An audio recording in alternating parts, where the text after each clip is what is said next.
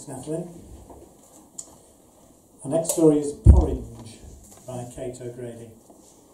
Kate O'Grady has recently moved here. Born in Ireland and raised in London, she's been living in San Francisco for 30 years, but is thrilled to be back on English soil, especially as she lives in Stonehouse, and is excited to be reading Stroud short stories for the first time. So Porange is our shortest story of the evening at just over 500 words. Please welcome to read Porange, Kate O'Grady.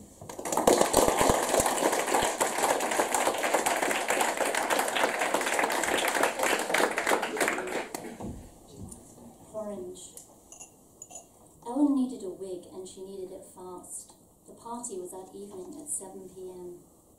Wear a wig, the big, black, bold Helvetica letters demanded from the bottom of a pink invitation that Ellen had found in her mailbox two weeks ago, wedged between a council tax bill and an appeal from Amnesty International.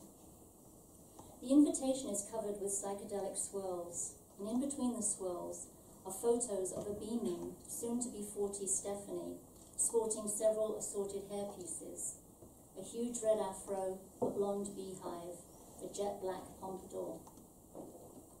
Wendy's wig store is located between a pawn shop and a car wash. Yes, plenty wigs. Come see, a woman's voice tells Ellen when she calls. Rows of white, faceless, polystyrene heads, topped with shiny wigs, are lined up in the window. Inside, a woman stands behind a glass counter. A female customer wearing a black coat browses the merchandise, and a man at the far end of the store eats noodles from a carton. The jangle of the doorbell makes them all glance Ellen's way when she enters. I called earlier. I'm looking for a party wig, Ellen says. The wig is hard to miss. Iridescent orange, it stands out from the mousy bobs and light brown page boys that surround it like a single red poppy in a field of grass. A cross between a saucy Bettie Page and a sultry Cleopatra, the wig speaks volumes but mostly it says, I'm the life and soul of any soiree. I'm transformed, Ellen thinks as she gazes at her bewigged reflection.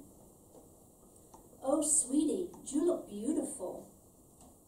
Behind Ellen, reflected in the glass and sitting at another mirror, is the woman in the black coat. She is smiling and holding one of the mousy bobs. Beside her lies another wig that she has just removed, a curly brown one. Her head is mostly bald, apart from some thin strands and a few, and a few flattened clumps of hair. You look beautiful, the woman says again. She speaks like Al Pacino in Scarface.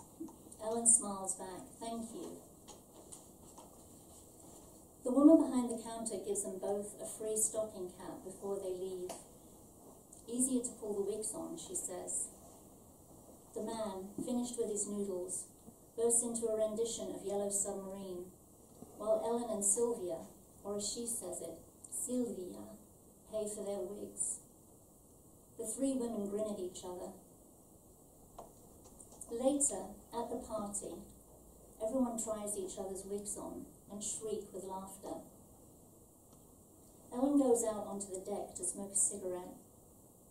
It is November and cold, and she is shivering before she takes the lighter out of her bag, but she needs a moment alone. Porange. That was the colour Stephanie called Ellen's wig. Not quite pink and not quite orange, but some shade between the two. They both laughed and sipped champagne and said that yes, orange really summed the colour up.